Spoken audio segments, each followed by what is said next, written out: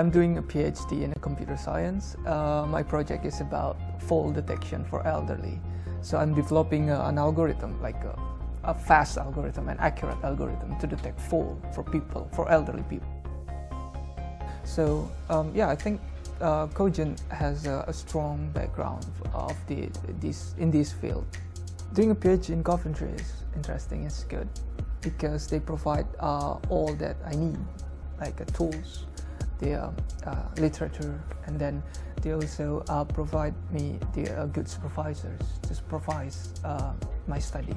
They gave me funding for attending a conference in London and in Indonesia for international students who will come, who, who want to start their PhD study here. I think it's good. I mean, it's not really hard being an international student in Coventry.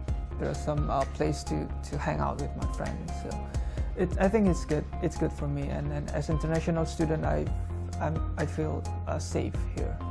You can explore yourself. I mean, you can improve your skill here because they provide everything for you to improve your skill.